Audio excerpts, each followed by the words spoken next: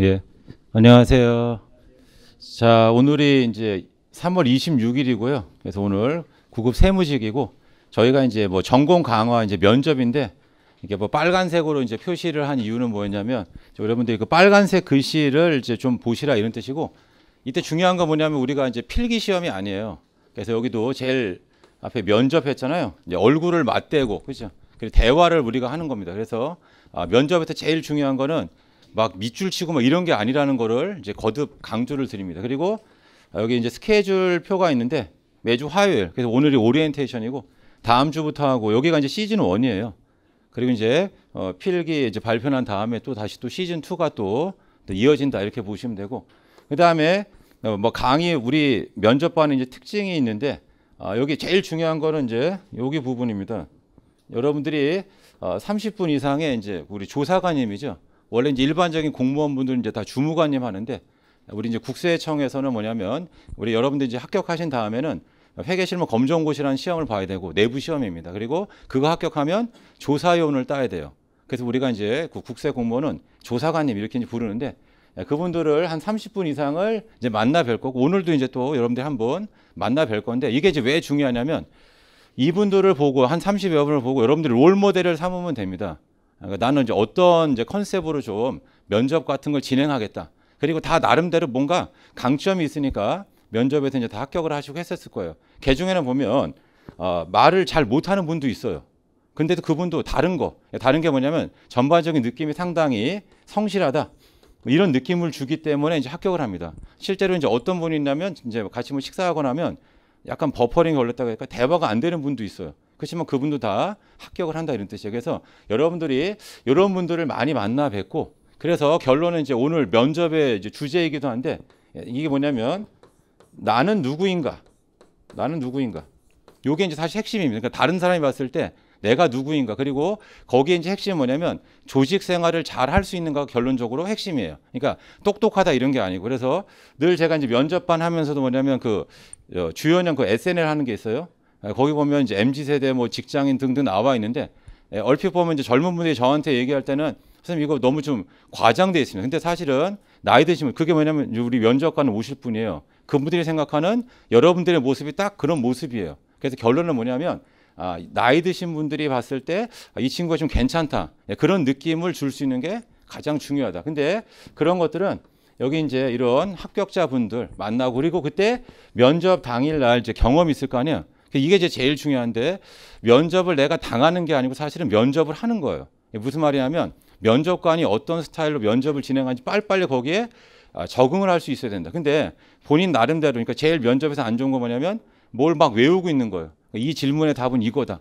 사실은 우리가 지식을 테스트하는 게 아니고 대화를 하는 건데 대화가 잘 이루어지지 않을 수가 있어요. 그래서 그게 결국 뭐냐면 이런 분들의 경험이고 또 나중에 이제 우리 반에 등록하시면 이제 교재도 하나 드릴 텐데 거기도 보면 많은 분들의 이제 후기가 있어요. 그래서 그걸 듣고 중요한 건 뭐냐면 글로 써 있는 거하고 사실은 이걸 대화할 때 하는 거하고 또 표정까지 섞인 거하고는 완전히 다릅니다. 그래서 계속 하셔야 될 게 뭐냐면 마치 우리는 연기 학원에 온 거랑 비슷하다.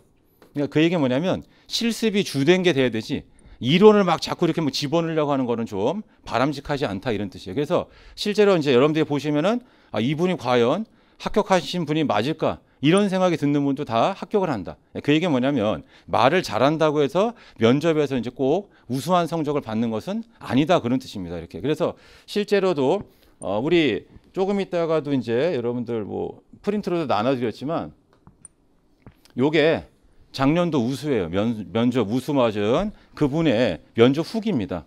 그럼 보면 답을 잘 못했지만 못했을 때의 반응이 되게 중요해요. 그러니까 어떤 표정과 이렇게 하는가 그리고 아, 내 그 다음 자세죠. 내가 부족하니까 이거를 어떻게 좀 채우겠다 이런 걸 잘하면 오히려 더 좋게 나올 수가 있다. 그러니까 우수가 맞은 거 이렇게. 그래서 여러분들이 그런 거를 좀 생각하시면서 하면 좋겠습니다. 그래서 첫 번째가 이런 거고 자 그 다음에는 뭐냐면 여기 주요 뭐 인성 질문 이렇게 얘기했잖아요. 우리 전공도 있고 인성도 있어요. 근데 일단 제일 기본은 뭐냐? 기본 인성. 그 출발은 인사 잘하는 거. 그 다음에 상대방의 얘기를 잘 경청하는 거. 그러니까 제일 위험한 건 뭐냐? 면접관이 어, 얘기가 안 끝났는데 내가 먼저 치고 들어갈 수 있어. 왜? 마음이 급하니까. 내가 빨리 이걸 막 얘기를 해야 되는데 이렇게. 근데 그런 거를 좀 더 기다려 줄 수 있어야 되고 실제로 그럼 어떤 친구들이 뭐 우수를 많이 해. 개 중에 점수가 높은 분들은 우수 안 맞아도 될 거예요. 이렇게. 그렇지만 이제 우수 맞는 사람들의 제일 주된 특징은 뭐냐면 침착합니다. 이 침착하다고 하는 건 결국 뭐냐면 어, 면접관은 생각하는 거예요. 이, 이 친구 앞에 지금 민원인이 와 있어요. 과연 민원인을 이 친구가 어떻게 응대할까? 그거를 이제 떠올리면서 이제 면접을 진행한다고 생각하면 되겠어요. 그러니까 개 중에는 뭐 괴팍한 질문을 할 수도 있고, 근데 그때 이 친구의 반응이 어떤 거 이거를 보는 거죠. 그래서 제일 중요한 건 이제 침착하다는 거고, 그 다음에는 뭐냐면 어, 케이스별로 답을 한다. 그러니까 뭘 하나 이렇게 물어봐 이렇게 그럼 거기에 대해서 상황을 본인이 설정해서 이런 케이스는 저는 이렇게 할 거고 이런 케이스 이렇게 그러니까 이렇게 약 어찌 보면 매뉴얼식으로 이제 답을 잘 할 수 있는 이런 게 이제 우수가 되고 대부분은 이제 점수가 높게 되면은 뭐예요? 저는 이제 보통만 맞으면 되고 실제로도 여러분들이 어, 필기 점수 잘 나오면 그 다음에 뭐예요? 마킹이 잘 됐을까? 뭐 이런 뭐 걱정을 하잖아요. 똑같습니다. 면접에서 제일 처음에는 저 한번 우수 맞아보겠습니다. 근데 시간이 지나면 그냥 우수는 필요 없고 보통만 좀 맞았으면 좋겠다는 마음이 크고 아, 실제로도 잘 그러니까 뭐냐 점수는 좋은데 떨어지는 분들이 있어요. 근데 그 원인 중에 하나는 뭐냐면 왜 떨어졌냐? 그래서 첫 번째로 이제 생각해 보면 뭐냐면 면접관하고 이제 논리적 싸움을 한다. 그게 결국은 아까도 제가 말씀드린 것처럼 그 MZ세 공무원, 그러니까 뭘 주인형도 그런 게 있어요. 잘못했는데 끝까지 인정을 안 해요. 이게 가장 큰 미흡의 사유라고 보시면 돼요. 이렇게. 그래서 그런 것들을 주의하시고 또 예의가 좀 없는 분들이 있어요. 그 예의가 일부러 없는 게 아니고 그냥 인사를 안 하는 거예요. 그래서 여러분들 실제로 어, 오늘서부터 뭘 봐야 되냐면 국세공무원 교육원이라고 이제 그 쉽게 말하면 유튜브에다 쳐보면 그 교육원들 생활이 쭉 나와요. 근데 저도 이제 제주도 이제 국세공무원 교육원도 가보겠으니까 거기 가면 복도에 이렇게 걸으면 뭐냐 무조건 인사를 합니다. 큰 소리로. 그게 이제 기본이 돼요. 그래서 국세청에서 제일 중요하게 생각하는 사람은 인사를 잘하는 사람이에요. 그러니까 면접장에 가서도 이제 어떤 일이 발생해 일부러 면접관이 안 쳐다봐요. 그러면 타이밍을 놓쳐요. 그러니까 난 처음에 쳐다보면 내가 인사하려고 했는데 안 쳐다보니까 인사의 타이밍을 놓친다. 그래서 제가 항상 교육할 때는 뭐냐 그 사람이 보든 안 보든 무조건 목소리를 내야 돼요. 그래 나는 인사한 사람이다. 그러니까 일부러 고개를 푹 숙이고 있지만 나는 목소리 크게 인사하고 그 다음에 뭐 감사합니다 등등 여기 이제 후기에도 나와 있지만 그런 게 대단히 좀 중요하다. 그 다음에 또 여기 보시면 자기 기술서 등이 있어요. 그래서 결론적으로 뭐냐면 A4 한 장에다가 어떤 상황 같은 거를 주고 본인이 거기다 이제 적어서 그다음 그걸 기준으로다가 면접 질문도 하고 대부분 이제 뭐냐면 뭐 친구랑 갈등 상황 잘 해결한 거 이런 것들을 이제 물어봅니다. 그럼 여러분들이 거기에 대해서 해야 되는데 강조 드리고 싶은 건 뭐냐면 글씨가 있어요. 그래서 실제로는 요즘의 분들이 글씨를 이제 아예 충격적으로 못 쓰는 분들이 있어요. 그럼 이제 면접관이 알아볼 수도 없고 또 뭐냐면 약간 첫인상이죠. 그러니까 우리가 과연 이게 이 사람이 쓴 글씨가 맞을까? 이런 생각을 이제 가질 수 있게끔 문제, 글씨를 엄청나게 이제 못 쓰는 분이 있다. 그러면 조금 곤란하고 옛날 이야기라면 뭐냐면 그분은 나이가 좀 많은 상태로 이제 합격을 했습니다. 근데 어떤 일이 있었냐면 이제 어, 자기 기술 뭐 이렇게 써가지고 제출을 했는데 면접관이 보더니 이제 면접관 두 명입니다. 이렇게 옆에 사람 보여주면서 어 이게 뭐예요? 글씨 잘 썼다 이거예요. 처음으로 알아볼 수 있는 이제 자기 기술서 받은 거예요. 그래서 자기가 아, 아, 이분이 나한테 이제 되게 좀 좋게 해주고 그래서 합격을 그때 예감한 거죠. 그러니까 처음으로 알아볼 수 있는 글씨를 써준 거예요. 이렇게. 그래서 개인적으로 뭐냐면 글씨를 갖다가 어느 정도는 좀 썼으면 좋겠다 이런 거고 그리고 또 뭐냐면 글씨를 크게 쓰면은 더 못 써 보입니다. 그러니까 줄이 이렇게 쳐 있으면 한 3분의 2 정도 되는 그런 사이즈로 하고 그 다음에 내용을 좀 줄여서 쓰는 것도 좋아요. 이 자기 수 나중에 이제 설명드리겠지만 왜냐하면 거기에 대해서 이제 궁금증을 가지면 그걸 100% 질문하게 돼 있습니다. 이렇게 그러니까 그런 걸 잘 유도하게끔 해주시면 돼. 그리고 그런 것들은 여기 나와 있는 이제 합격자분들이 와서 또 자기 경험 등을 통해서 말씀을 해주시고 그래서 계속 강조드리고 싶은 건 뭐냐면 우리가 이론이 아니에요. 그래서 원래 필기 같은 경우에는 내가 1번, 2번 이렇게 쭉 나가다가 한 3번 하고 4번 모르겠는데 건너뛰고 뭐 7, 8번 하다 올 수 있어요.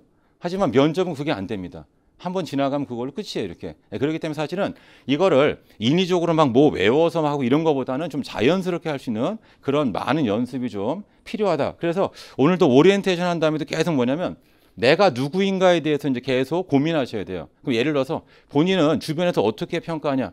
제가 이제 많이 이제 강조 드린 것처럼 아까 저는 아, 여기 있네. 저는 예의 바른 사람입니다. 그럼 그 다음이 중요해요. 근거를 대야 됩니다. 그러니까 예의 바르다는 근거가 뭐냐. 그리고 침묵이 흐르면 곤란하다. 그래서 제가 이제 보통 예를 드는 게저 아, 같은 경우도 어디 이제 뭐 예식장이나 뭐 이런 데 가면 윗사람 만나면 인사를 하죠. 예, 첫 번째 인사. 그 다음에 집에 갈 때도 제가 먼저 간다. 그럼 반드시 제가 아 저 먼저 일 있어 가보겠으면 인사를 한다. 그럼 이제 다른 사람들이 평가할 때 아, 이 친구 상당히 좀 예의 바르구나. 이렇게 평가. 그러니까 이게 뭐냐면 근거예요, 근거. 개 중에는 이제 뭐냐면 여러분들이 그래서 앞으로 계속 찾아내야 될 거는 어떤 거에 대한 질문에 대한 답이 있을 거예요 이렇게. 그리고 거기에 대한 근거 같은 거를 이제 자꾸 생각을 해봐야 되고. 중요한 건 뭐냐면 근거를 이제 잘못되거나 하면 뭐가 되냐? 이게 거짓말이라고요. 거짓말. 그래서 면접에서 제일 중요한 건 뭐냐? 서로 우리가 믿고 하는 건데 신뢰감이 확 깨질 수 그게 뭐냐 상대방이 여지까지 얘기한 게 다 거짓말이구나 그래서 실제로 면접에 제일 고차원적으로 어려운 건 뭐냐면 한 3번 질문하고 7번 질문이 같은 거예요. 연속해서 3번, 4번으로 물어보면 아 이거를 뭔지 알 텐데 3번에 해놓고 나서 저 뒤에 7번에 가서 하는데 아까 3번과 달라요. 아, 그럼 그때 이제 본인은 엄청 뭐 당황하겠죠. 근데 그때도 솔직하게 이제 본인이 뭐 생각 못했다 빨리 인정을 하면 되는데 아 이거 안 된다. 논리에서 밀리면 안 되겠고. 그래서 그걸 막 어떻게든지 막 커버를 하려고 하다 보면 이제 오히려 어- 어떻게 돼? 더 역효과가 난다. 그래서 아까 제가 말씀드린 것처럼 뭔가 잘못했으면 빨리빨리 인정을 하고 가는 게 사실은 바람직하다 이런 뜻이. 아무튼 그런 것들하고. 자 그 다음에는 여기 우리가 전공 강화잖아. 이렇게 해가지고. 그래서 선생님 전공 질문은 또 어떻게 합니까? 이렇게. 이렇게. 그래서 전공에 대해서 마찬가지입니다. 왜냐 면 여러분들이 어, 객관식을 했잖아요. 주관식도 아니고. 예, 그러다 보니까 중요한 건 뭐냐 어려운 거 할 필요 없어요. 가장 기본적인 거 뭐 용어서부터 해가지고 뭐 사업자가 뭐냐 간이가세자이든 뭐 사이버 얘기해 보세요 이렇게 그렇죠. 그러면 뭐 금액이니 뭐니 뭐 나와야 될 거 아니에요 이렇게 해가지고 근데 그게 말로 표현이 안 됩니다. 그러니까 중요한 건 뭐냐 길게 할 필요 없어요. 그냥 한 줄로만 얘기하면 돼요. 직관적으로 이렇게 그리고 더 중요한 건 틀려도 됩니다. 틀려면 면접관이 알려줘요. 아 그거 말하는 거 아니냐 이런 식으로 이렇게 그러니까 실제로 10명 중에서 면접관 10, 10분 중에서 9분 정도는 나한테 우호적이라 생각하면 됩니다. 근데 우리가 면접을 열심히 하는 이유는 뭐냐? 꼭 한 명 정도는 대단히 이제 좀 까치, 까칠 한 분이 있어요. 그래서 아이 멘탈을 다 이제 나가게 만들 수 있죠. 그러니까 우리가 그런 거를 대비해 가지고 좀 연습을 하는 거고. 그러니까 우리가 뭐 할 거냐면 아, 면접 조를 편성합니다. 그리고 이 조가 그냥 평생 같이 가는 거예요. 교육원 가서도 마찬가지고 이렇게 해가지고 그래서 여러분들 이 조에 대해서 이제 조 짠 다음에 열심히 연습을 하시면 돼요. 그때 조원들이 중요하단 말이에요. 그러니까 뭔가 질문 나올 만한 거 이렇게 해주고 피드백을 잘 해주면 그 조가 아주 잘 되는 거죠. 전원 다 합격할 수 있는 그런 조가 될 거다. 그러니까 작년도에도 모르겠 우리 이제 그 메가에서도 이제 그 합격자의 밤처럼 했는데 그때도 이제 나와서 이제 세무직에서 대표로 뭐 발표한 친구가 있어 그죠? 그, 그 친구 조장이었고 그 조가 다 전원 다 합격을 했습니다 이렇게. 그러니까 그런 게 결국 뭐냐면 물론 조장의 역할도 중요하지만 조원들도 잘하고 이렇게 그런 게 매우 중요하다. 아무튼 조로서 연습을 하고 이게 결국 뭐냐면 아까 얘기했던 연기하는 거, 연, 연기하는 것처럼 계속 실습이 필요한 거지. 지식으로 선생님 저 이 질문의 답은 이거 이거 이거 이것만 해서는 사실은 면접에서는 좋은 게 아니다. 왜냐하면 면접관도 이제 올해도 왔을 거고 전년도 이렇게 몇 년 이렇게 왔다고 하면 뭐 물어보는 내용 거의 비슷합니다. 이렇게 그러면 거기에 대해 답이 거의 유사해요. 어찌 다른 말로 하면 뭐냐면 식상하다 이런 뜻이에요. 그래서 사실은 뭔가 좀 더좀 고민한 흔적이 있는 답. 그러니까 아, 이게 뭐냐면 나만의 경험 뭐 이런 것들을 얘기해 주면 상당히 좀 어, 면접에서는 좀 좋다 이런 뜻입니다. 그러니까 그런 거를 잘 생각해 보시고요.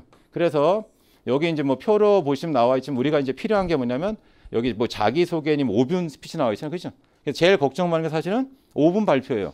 그래서 이 5분 발표도 여지까지 제가 이제 뭐 10년 넘도록 계속 진행을 해 보면 보통은 한 3분에서 한 4분입니다. 5분 정도 하는 사람 거의 없어요. 이렇게. 근데 가끔 가다가 1분에 끝날 수도 있어요. 이렇게. 그럼 거의 이제 준비 부족인 거죠, 사실은. 이렇게. 그러면 그때도 답을 잘 하셔야 돼요. 왜 이게 1분밖에 못 했냐 그러면 너무 긴장돼서 갑자기 잘 표현을 못 해. 준비를 많이 했지만 잘 안 됐습니다. 이렇게 해 가지고. 그래서 그런 식으로 뭔가 내가 1분 만에 끝났을 때도 이렇게 한다든가 그게 필요하고 그 다음에 실제 우리 국세청의 5분 발표는 쉬워요. 서울시 이런 데보다. 왜 쉽냐면 우리는 무조건 공직 가치로 제한돼 있어요.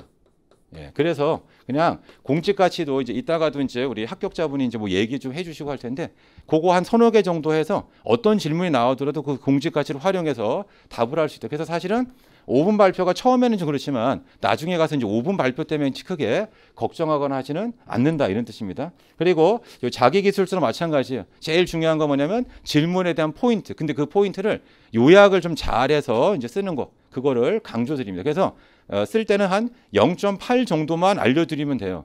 그럼 0.2가 궁금하잖아요. 그리고 그걸 이제 뭐라냐면 면접을 내가 유도해 간다 이렇게 얘기하는데 아무튼 그런 식으로 여러분들이 면접을 진행하는 게 가장 좋을 거다. 그리고 아, 지속적으로 계속 이제 합격자 분들이죠.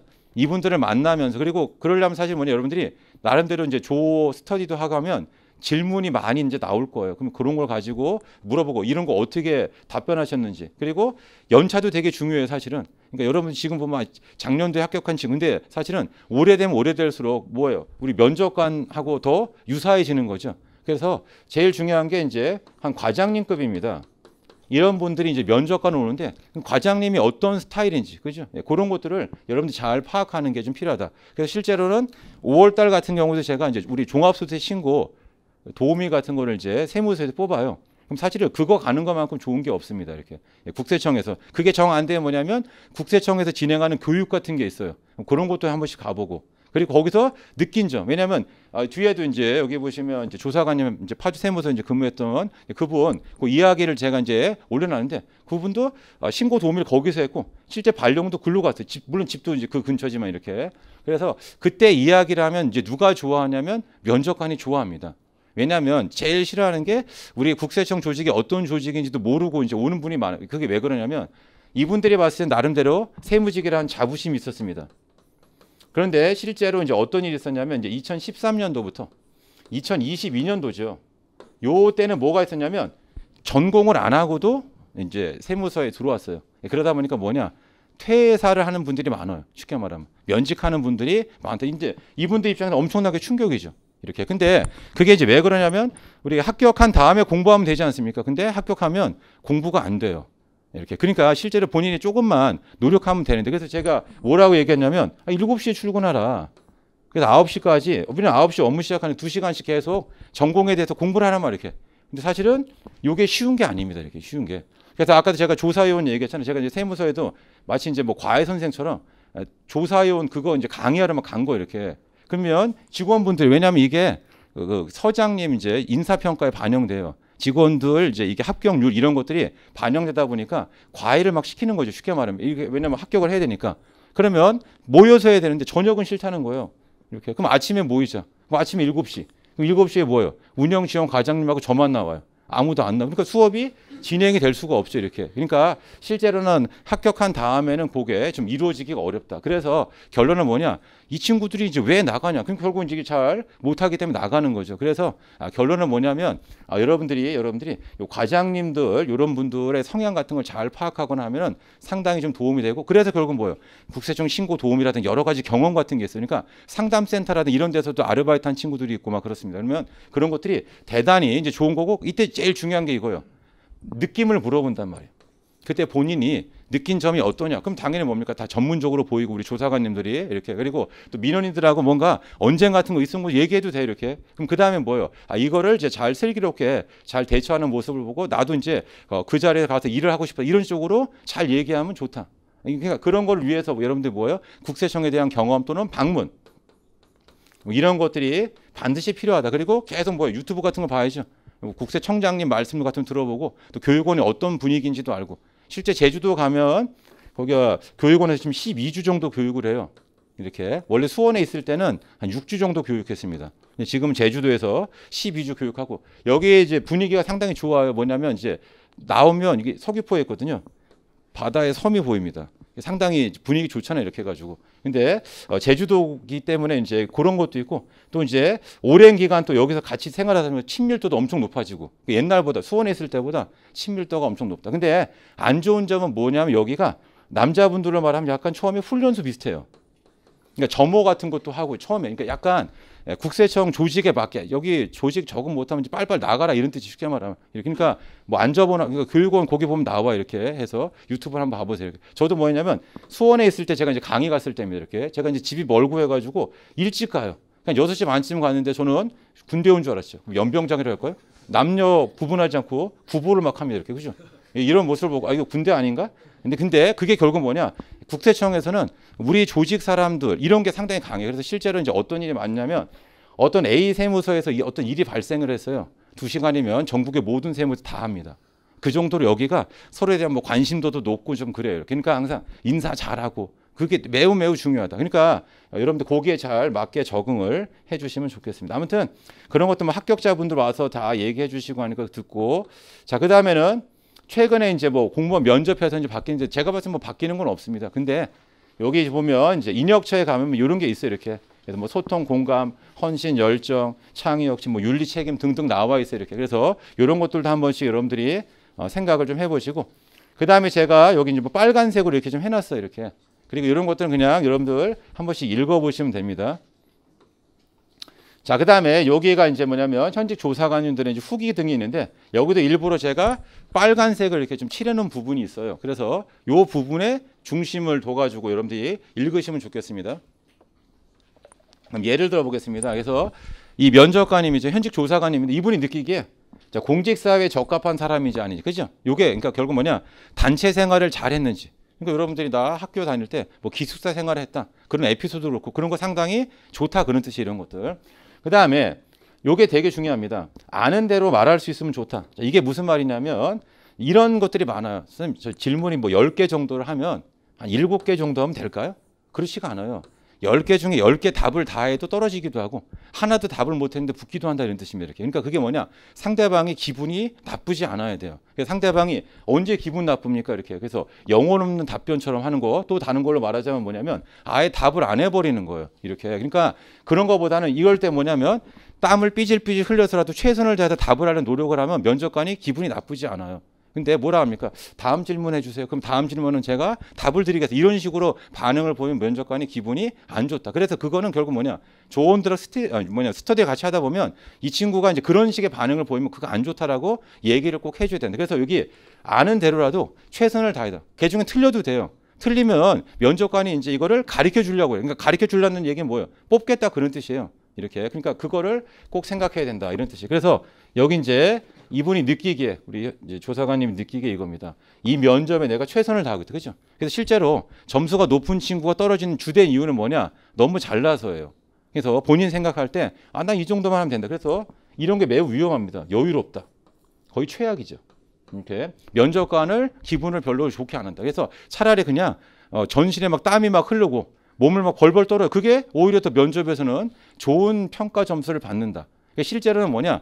아예 사시나무 떨듯이 그러니까 저희 면접관이 있었어요. 사시나무 떨듯이 해서 대화 자체가 불가능합니다. 하지만 붙었어요. 이렇게 그러니까 왜냐면 면접관이 볼 때 너무 이제 안타까움. 그래서 제일 중요한 게 뭐냐? 이 친구를 떨어뜨려도 별 마음의 상처를 내가 안 받으면 그럼 과감하게 떨어뜨릴 수 있다. 근데 이 친구 떨어뜨렸을 때 어, 자기가 너무 마음이 불편해요. 이렇게 막 그러, 그냥 그러면 이걸 줄 수가 없는 거예요. 이게 사실은 되게 중요해요. 그래서 제일 위험한 사람은 뭐냐? 너무나도 여유로운 거예요. 이렇게. 그래서 제가 원래 의자에 이제 앉아서 면접을 이렇게 볼 거 아닙니까? 이렇게 등을 대, 등발 등 대지 말아. 왜냐면 등발 대는 순간 자세가 틀어집니다. 안 좋아요. 이렇게. 그러니까 요거 잘 좀 여러분 보고 그다음에 이게 고교수에 인사하고 여기다 플러스 보여야 되고 말을 하셔야 돼요. 이렇게 수험보를 몇 번 누굽니다. 되도록이면 크게 하는 게 좋다. 이제 안 들리게 하고 여기만 우리말 하는 게 아니고 뭐 옆에도 계속 하니까 웅궁해서 잘 안 들린다 그렇게. 그러니까 큰 소리로 좀 하라 이런 뜻입니다. 그런 거 잘 보시고 그래서 예전에도 뭐였냐면 우리 이제 여자 조사관님인데 이제 좀 체격도 작고 막 이래 보이니까 아니 이래서 이제 그, 그 민원인 악성 민원인 하면 어떻게 하냐. 근데 이분이 검도를 했어요. 그래서 자기가 검도하고 한 기합 한번 보여드리겠습니다. 한번 해보라고 한 거. 그래서 큰 소리 야파니까 아유 됐다고 웃음도 터지고. 그러니까 본인만의 뭔가 필살기가 있다 이런 뜻이에요. 그러니까 이걸 왜 하냐면 실제로 민원인들이 와서 이런 겁니다. 키가 이제 우리 면접반에서 한 88 되고 한 체중도 거의 100kg 나간 친구 있어요. 그렇죠? 질문을 잘 안 해요. 왜냐면 민원인들도 와서 이분한테 함부로 잘 하지 않습니다. 근데 그렇지 않으면 함부로 하는 게 보여요. 아, 그래서 실제로 만약에 그런 친구라면 꼭 질문이 나올 수가 있어요. 아, 이렇게 거친 민원이면 어떻게 할 거냐. 그러면 이제 본인만의 어떤 그런 것들을 잘 얘기하면 되겠 그래서 일부러 큰 소리 내라는 게 좀 자신감을 처음에 좀 내보이는 게 좀 필요하다. 이런 뜻입니다. 그래서 여기 목소리 좀 크게 하라. 이런 거. 정자세 잘 하자. 그리고 요것도 되게 중요합니다. 뭐냐면 본인 스스로 면접관이 뭐 얘기할 때 있어요. 나는 다음 질문 나오면 뭐라고 답변해. 이걸 생각하는 게 아니고 면접관 얘기에 이제 공감. 그게 이제 사실은 대화라는 거죠. 이렇게. 그러니까 이게 매우 중요하다. 그러니까 공감. 그러니까 이게 우수에 있어서 꼭 필수적인 거예요. 저는 그렇습니다. 이제 저희 제 면접반이고 있지만 아까 지금 어, 보여드렸던 그분 우수잖아요. 더 잘하는 친구가 있어요. 이렇게. 그렇지만 그렇지만 이 친구 우수 받는 건데 이 친구 제일 좋은 점 뭐냐? 저한테도 얘기했어요. 선생님 저는 면접에 강점이 있다. 자기 스스로. 이렇게 표현을 잘 안 했지만 나중에 이제 웃어 받아가지고 제가 물어봤더니 이렇게. 근데 그 제일 중요한 게 이 친구 이거예요. 공감력 이렇게. 수긍 이 마, 이게 제일 중요하다는 뜻이에요. 그래서 면접관이 했을 때 아 이 친구가 그래도 내가 뭘 얘기하면 잘 듣겠구나 이런 느낌을 줘야 된다 이런 뜻입니다. 그거 잘 봐두시고 그 다음에 어 요겁니다. 뭔가 막 지적을 막 해주는 분들도 있어요. 이렇게 그걸 막 기분 나쁘게 생각하지 말고 뽑아주겠다 이런 뜻이에요. 이렇게 그러니까 요걸 하고 그다음 거꾸로 보면 뭐냐면 저 뒤에도 나오겠지만 항상 그 마지막으로 하고 싶은 말이 있어요. 예, 그래서 저희도 모의 면접할 때 항상 마지막에 마지막 하고 싶은 말이 뭡니까 이렇게 거기 멘트도 준비해야 돼요. 이거 너무 길게 하면 안 돼요. 지루하다고요. 이렇게. 그러니까 한 2, 30초 내에 뭔가 짧게 임팩트 있게. 근데 그거를 계속 연습을 해야 되고 사실은 이제 스터디 하면서도 뭐냐? 지겹도록 듣겠죠. 근데 그렇게 할 수밖에 없는 거 이렇게 해 가지고 얘는 또 이 얘기 또 하는구나. 그죠? 그걸 바꾸려고 하지 말고 그냥 자다마 깨워도 그냥 그 얘기를 계속 할 수 있어야 돼요. 왜냐하면 내가 뭔가 변형을 하려고 하면 갑자기 말이 꼬이면서 안 나올 수 있어요. 그러니까 이거 뭐 창피하다고 생각하지 말고 본인만의 뭔가가 좀 있어야 된다. 근데 더 중요한 건 뭐냐? 이거를 그냥 내보낼 수도 있어요. 면접관이 왜냐면 이미 다 결정다고 해서 좀 쉽게 말하면 이제 그 미흡이 아니라고요. 그래서 이제 내보내려고 하는데 그냥 갑자기 이제 본인이 뭐 한다든가 또는 뭐냐면 본인이 이제 전공을 왕창 준비했습니다. 근데 전공 질문 안 할 수도 있어요. 그럼 가면 돼요.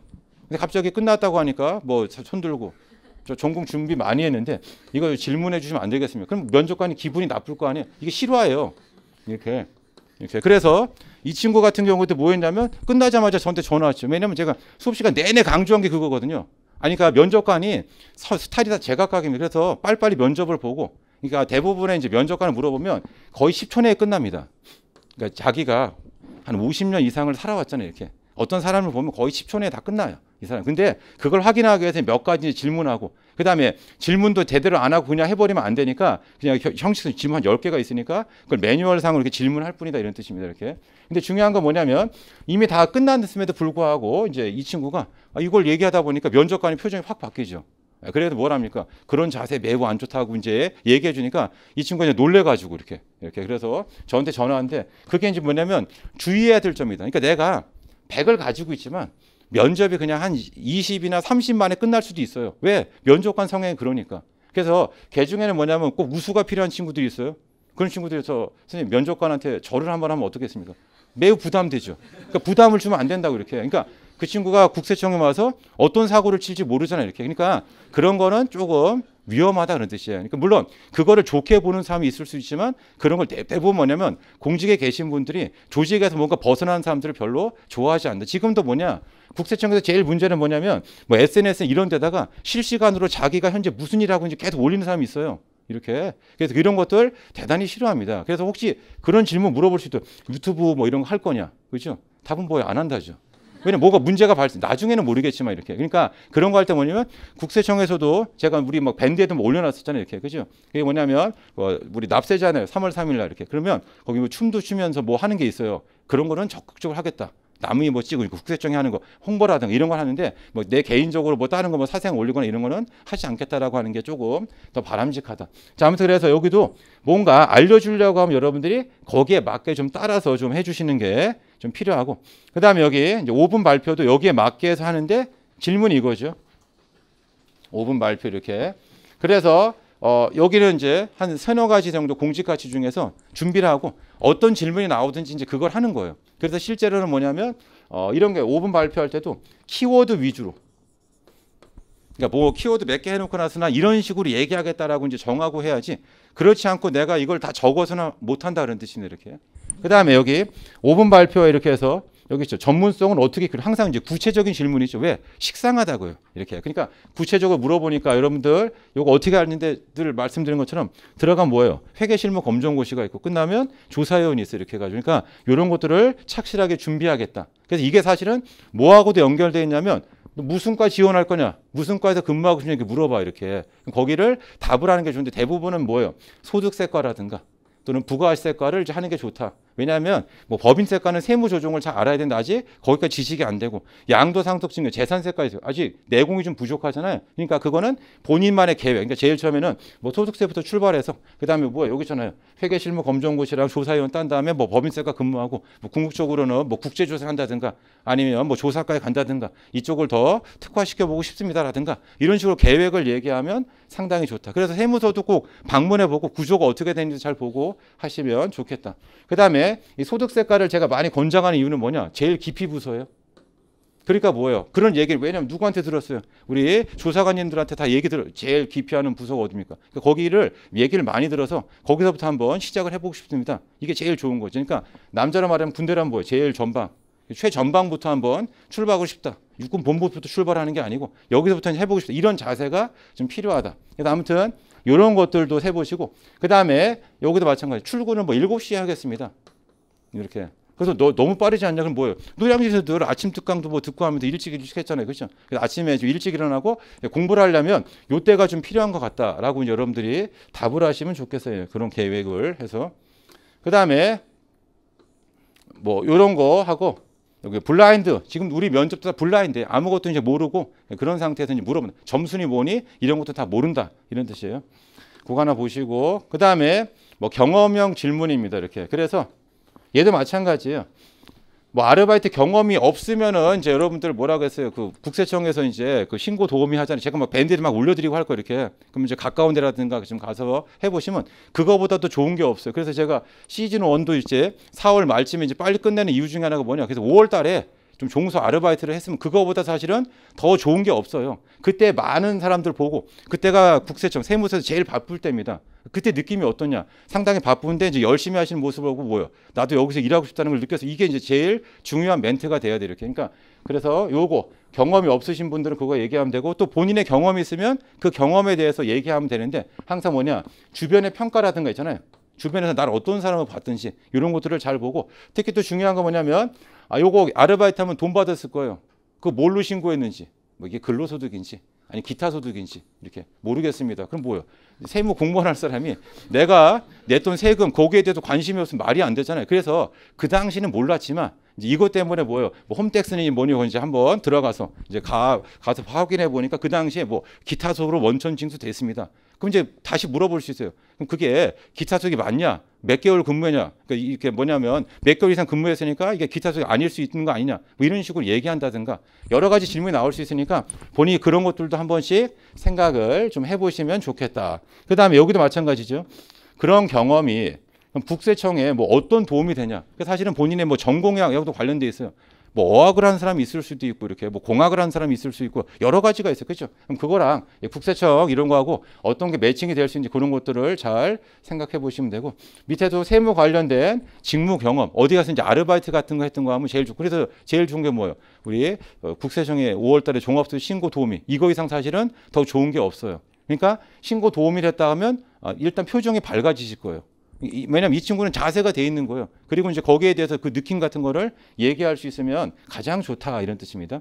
그리고 뭐 혹시 뭐 개선해야 될점 이런 것들이라든가 그래서 이제 본인 뭐 보면 부가세 뭐 간이가세 뭐 등등등을 많이 물어보면 거기에 대한 답을 하는 거고 이런 거 할 때도 거창하게 하려고 하지 말고 그냥 간단하게 간단하게 나가 그러니까 뭐냐면 우리 이렇게 뭐 양궁이다 이거 죄송해요 양궁이라고 이렇게 하면 뭐 10점 9점 이게 아니고 한 5점, 6점 이게 언저리만 찍어도 돼요. 그러면 대화가 진행될 수 있어요. 이렇게 틀리면 또 그 가르쳐줘서 고치려고 이렇게 알려주기도 하고 이렇게. 그 다음에 여기 보시면 이게 중요하죠. 국세청 블로그 유튜브 이거 본 적이 있냐? 그 봐야 된다고 이렇게 그죠? 그러니까 국세공무원 교육원이고 뭐뭐뭐 된지 또는 국세청 홍보대사 누군지 뭐 이런 것들 그 다음에 또 물어 뭘 물어봐 혹시 본인이 홍보대사 누구 추천하다면 누구 추천하겠냐? 뭐 이런 것들을 하시면 돼. 거기에 대한 근거 왜 그 사람을 추천해? 이런 것들을 한 번씩 어, 이야기를 여러분들이 해보시면 좋겠다 이런 뜻입니다 이렇게. 그래서 요거 유튜브 같은 것도 이제 계속 보는 게 좋다. 그 다음에 상황형도 마찬가지예요. 그래서 여기도 뭐 조세 포탈 뭐 이런 것들 뭐 등등 나와 있는데 여기서는 이제 어떤 것들이 이제 핵심이냐면 이제 내부 고발이라는 게 있어요. 이렇게. 그러니까 누가 상관이 될 수도 있고 내 동료가 될 수도 있어요. 부정하다. 뇌물을 받을 수도 있고 어떻게 할 거냐 즉각 뭐 고발하겠어요 이러면 너무 냉정해 보이고 면접관이 나 내가 뭐 해도 이 친구가 고발할 거 인간미가 너무 떨어지니까 항상 요구할 때 아까 제가 우리 연기학원처럼 뭐 해야 됩니까? 바로 직답을 하면 안 됩니다. 이렇게 답은 이제 뭐냐면 뭔가 조치를 취해야 되는데 거기에 대해 충분히 왜냐면 내 동료고 이렇게 하니까 고민하고 그다음에 항상 이런 거할때 좋은 거 뭡니까? 상관한테 좀 의지를 해야 된다. 그죠? 상관한테 좀 뭐 자문을 좀 구하고 이렇게 그 왜 그러냐? 이분이 국세청 오래 근무한 경험이 많을 거고 그래서 여기에 대해서 나보다는 더 좋은 결론을 내릴 것 같다. 그래서 결론은 뭐냐면 단독 행동이 있어요. 그것만 안 하면 돼요. 자문을 구한다. 그러니까 나 혼자 독자적으로 뭐 이렇게 하겠다. 이런 것만 안 하면 된다. 그래서 이 사실 뭐 전공에 대해서는 틀려도 돼요. 틀리면 이제 거기에 대해서 이제 많은 것들을 이제 그분이 더 가르쳐 주려고 한다. 그래서 여기 면접관 두 분이 있어요. 그럼 전공 이렇게 한다든가 이렇게 그런 거 할 때 이제 하시는 분이 이제 국세청 분이고 나머지 한 분 인력처 분이다. 그럼 최종 결론 누가 내요? 이분이 내리는 거예요.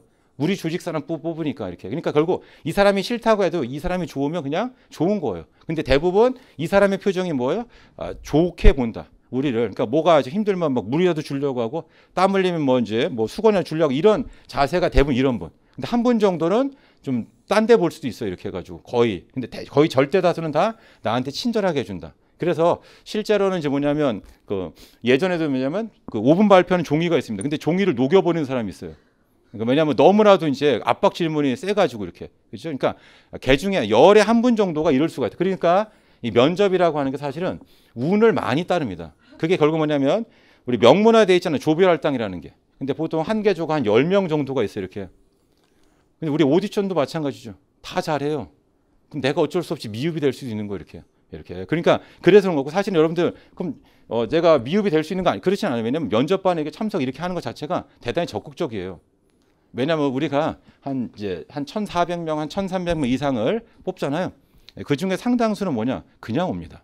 준비 원래 면접이니까 그냥 오는 분들도 막 준비를 거의 안 하고 실제로 이렇게 그러다 보니까 여러분들이 어느 정도 이렇게 준비를 하면 되고 또 이제 강조드리고 싶은 게 뭐냐면 뭐를 잘할 생각을 하지 말고 이제 뭐냐면 다른 사람 면접하는 걸 잘 봐야 돼 이렇게 그래서 면접반이 좋은 점은 뭐냐 내가 뭘 하려는 게 아니고 다른 사람 하는 것보다 아 저런 답을 하면 안 되겠구나. 이걸 느껴요.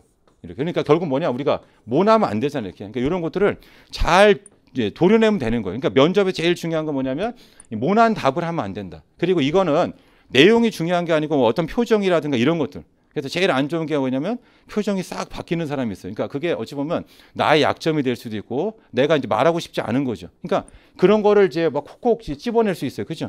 차라리 그냥 진땀 흘리거나 뭐 이러면 좋은데 이렇게. 근데 그렇지 않을 경우에 이제 표정이 싹 바뀌고 그- 그럴 경우에는 조금 위험할 수가 있다. 왜냐면 면접관도 이제 그거를 사람이니까 느끼거든요. 그러니까 그런 게 연습이 좀 많이 필요하다. 대부분은 뭐냐면 그냥 우호적인 분이 많아요. 우리 국세청 면접 절대 다수가 이렇게. 근데 개 중에는 꼭 그렇지 않은 사람들이 있다 이런 뜻입니다. 자 아무튼 그런 거 하고 여기도 마찬가지예요. 면접관이 이제 내가 했는데 뭐 다른 쪽으로 얘기했어요 이렇게 난 A라 근데 B. 그럼 이제 아 일단은 뭐 면접관이 그 얘기는 제가 뭐 생각 못했다고 한다든가 그 말이 더 맞다라고 한다든가 이런 식으로 반응을 해주는 것도 맞다. 그리고 여기 나와 있죠. 마지막으로 근무하고 싶은 과가 어디냐. 그리고 거기에 대한 뭐 근거라든가 이런 것들을 내면 되는데 아까도 얘기했지만 소득세과가 가장 깊이 부서요. 그러니까 거기 하는 거고. 제일 안 좋은 데가 뭐냐면 이제 뭐 민원봉사실. 민원봉사실 보통 이제 뭐 민봉 이렇게 얘기하는데 그죠? 이렇게 여기가 이제 그 왜 안 좋습니까? 여기는 칼퇴가 가능해요. 왜냐하면 사업 여기 사업자 등록증 내는 거예요. 그러니까 민원인을 대하는 데가 아니에요. 사업자 등록증 내주고 그다음 또 뭐 하는 거 서류 발급해 주는 거. 뭐 국세 완납 증명서라든가 이런 서류를 발급해 주는 곳이다. 그래서 여기는 칼퇴가 가능하니까 뭐예요? 연차 높으신 분이 그냥 잠시 쉬러 온 곳이에요. 그러니까 처음에 여기 하는 게 좋지 않고 또 이런 게 있어요. 세적이라고 해서 마치 여러분들이 사또와 같은 거예요. 뭐 관할을 맡는 거 이렇게. 여기 동작은 요 동네 이 노량진동을 본인이 맡고 있는 거 이렇게. 그러니까 중요한 건 뭐냐면 이거를 해야지만 되는 건데 요거는 별도로 돼 있는 거 아니에요. 그죠? 그러니까 개인적으로 봤을 때는 좀 바람직하지 못하다 이렇게. 그러니까 힘든 데를 힘든 데를 가야 돼 힘든 데를 가는. 물론 여기가 힘들지 않다는 게 아니고 대부분은 뭐냐면 야근 그다음에 주말에 나와서 일하는 거. 우리 국세청 조직의 특징이 뭐냐면 주말에도 근무를 하셔야 돼요. 왜냐하면 처음부터 일할 수 없는 양을 줘요 이렇게. 그러니까 그거를 본인이 해내야 된다는 뜻이. 그리고 또 뭐가 있냐면 그냥 막 해버리면 돼요. 내 스스로. 근데 그럼 나중에 사고가 터질 수 있잖아 이렇게. 그러니까 본인이 그거를 못 견디는 거죠. 그러니까 더 한 번에 보려면 속도가 느려질 수밖에 없고. 그러니까 본인이 결정한다고 하잖아요 이렇게. 그럼 본인이 빨리빨리 그냥 결정해버리면 일 처리는 빠르다. 근데 나중에 좀 문제가 될 수 있고. 제일 요새 힘든 건 뭐냐면 나의 할 일이라는 게 있어요. 그게 뭐예요? 모니터를 이렇게 켜요. 그러면 아, 거기에 보면 색깔이 있습니다. 그러니까 기한이 많이 남아 있으면 이제 뭐 예를 들어서 녹색이다. 근데 기한이 다 되면 빨간색 됐을 거 아니에요. 근데 이 모니터가 쉽게 말하면 이 나의 할 일이게 내 모니터만 있는 게 아니고 과장님 모니터도 있어요. 그러니까 뭔가 빨간색이 있어요. 그럼 과장님이 이제 얘기하겠지. 이종화 씨 이거 지금 빨간색인데 뭐요? 빨리 이제 올리란 말이에요. 결제를. 이것 때문에 어쩔 수 없이 내가 주말에 나오는 거고 옛날에는 보통 캐빈에서 넣어둔다. 그러니까 캐빈에서 그냥 일 안 해버리고 하는 거예요. 1년마다 자리를 계속 바꾸니까 뒤에 사람이 나를 욕하겠죠? 하지만 내 알바가 아니 이렇게. 그렇게 근데 지금은 요게 잘 안 된단 말이에요. 이렇게. 네, 그래서 아, 여러분들이 실제로는 여기 세무서 내에서도 좀 약 처음에 힘든 과 이런 거를 좀 해서 하는 게 조금 더 낫다라고 이제 얘기합니다. 자, 그다음에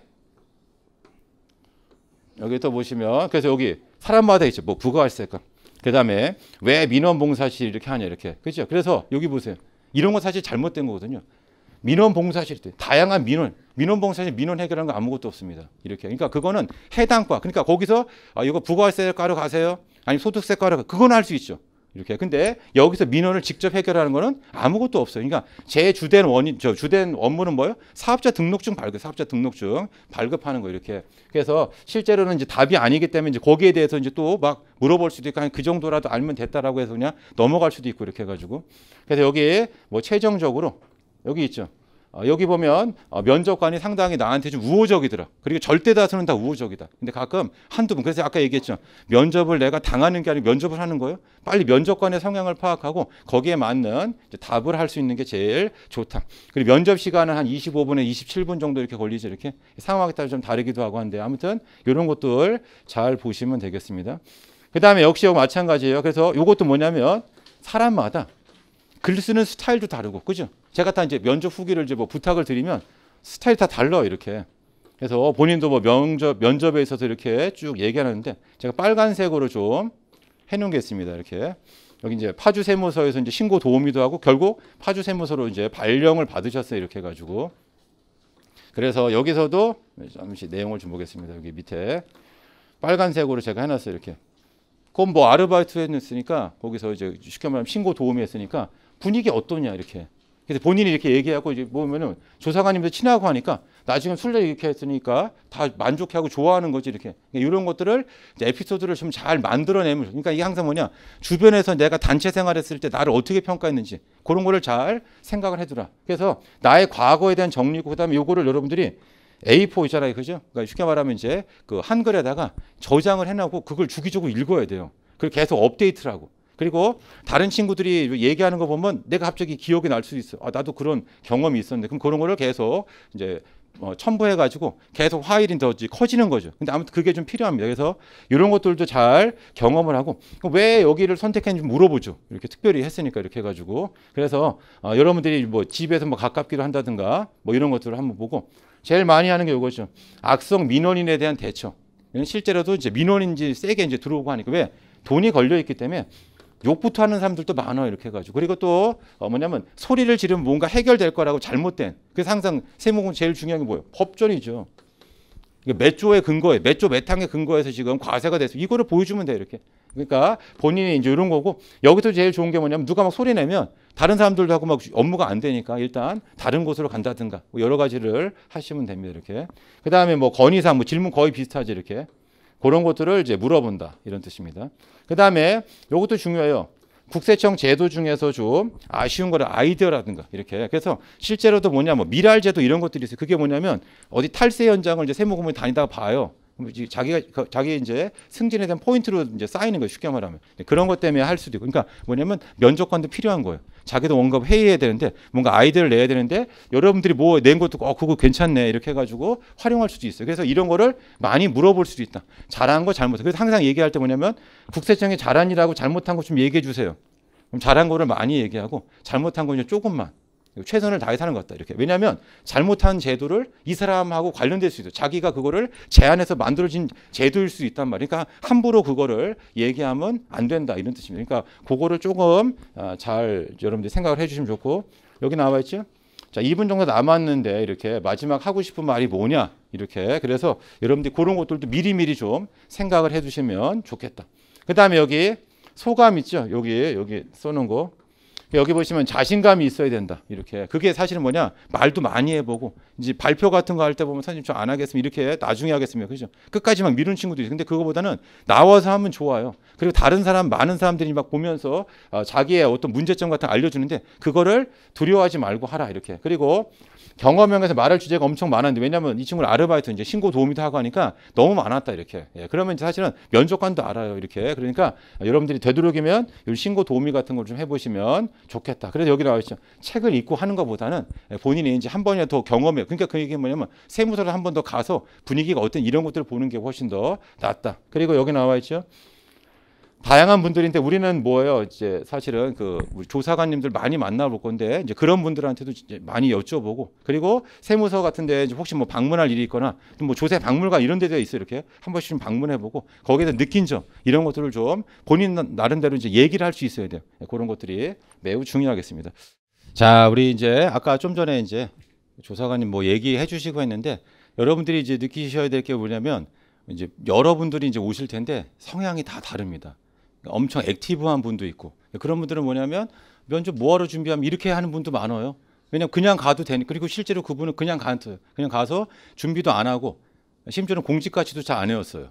근데 그러고도 이제 붙을 수 있습니다. 그게 이제 결국은 뭐냐면 이제 이 이분이 이제 조직에 들어와서 어떤 식으로 할까 이렇게 그런 거를 이제 생각을 해보는 거예요. 그러니까 아, 크게 이제 뭐 모난데 없고 이렇게 하면 잘 된다라고 생각하는 거고 또 사람마다 또 뭐냐면 엄청 이제 뭐 절차니 뭐니 이런 것들을 되게 어, 막 신경을 쓰는데 저는 이렇게 생각해요. 뭐냐면 천 명이 넘는 사람이 한 군데 와서 뭔가를 진행하고 있는데 내가 과연 그 절차를 몰라가지고 뭐 잘못되는 일이 있을까?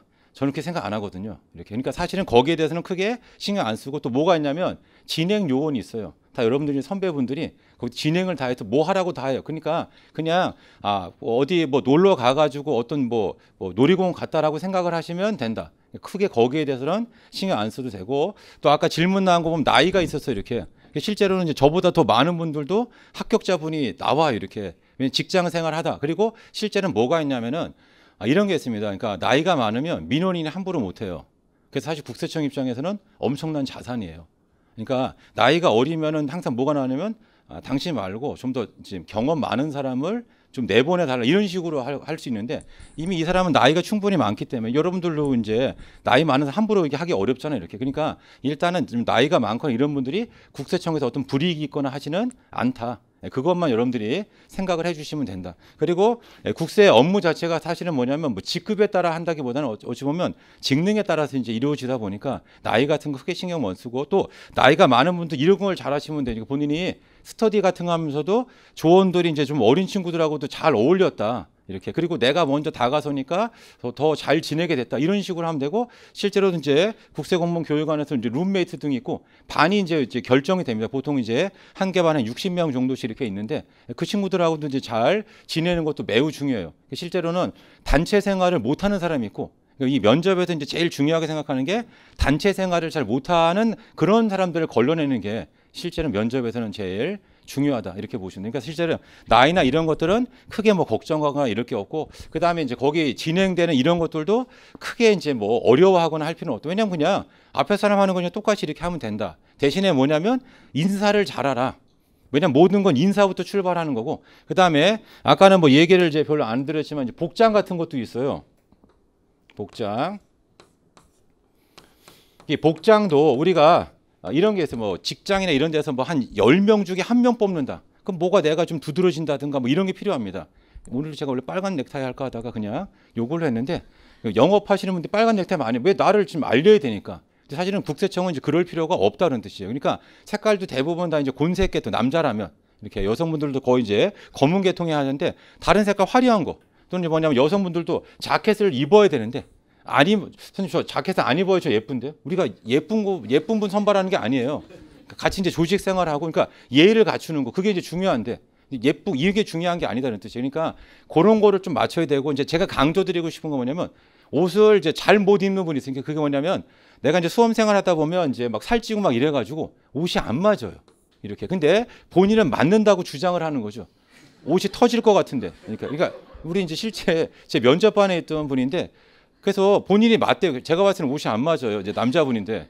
그래서 이제 앞으로 모셔가지고 물어봤죠. 이분의 지금 옷이 지금 맞습니까? 물어봤더니 모두가 다 아니래요. 그러니까 그 면접관도 하면서 아 이게 혹시 뭐 단추가 뜯어지지 않을까 이런 걱정이 들 정도로. 근데 본인은 맞다라고 생각하니 그러니까 이거보다는 약간 넉넉한 거. 그러니까 원래는 우리가 이제 핏이 이제 잘 나오고 하는 것도 중요하지만 나이 드신 분들이 좋아하는 그러니까 아까도 계속 얘기했잖아요. 그러니까 보통 본인의 부모님이나 한 삼촌 정도 되는 사람이 봤을 때 좀 적합한 그런 이제 스타일을 이제 저는 이제 개인적으로 추천한다.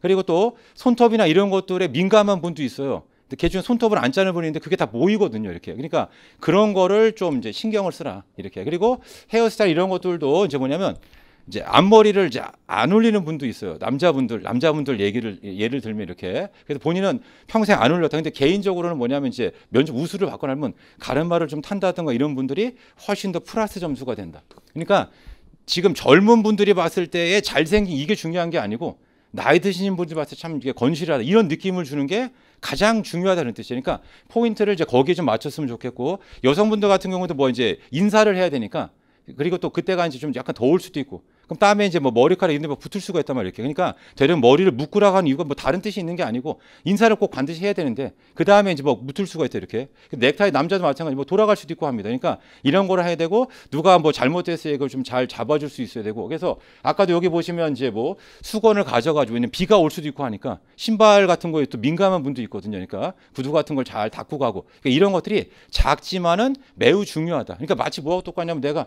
소개팅 하는데 대충 입고 나온 거예요 상대방이. 이 나를 뭐 어떻게 생각하는 거 이런 느낌을 주잖아요 이렇게. 그래서 저 같은 경우도 예전에 이제 면접을 보는데 그때 자율복이었어요.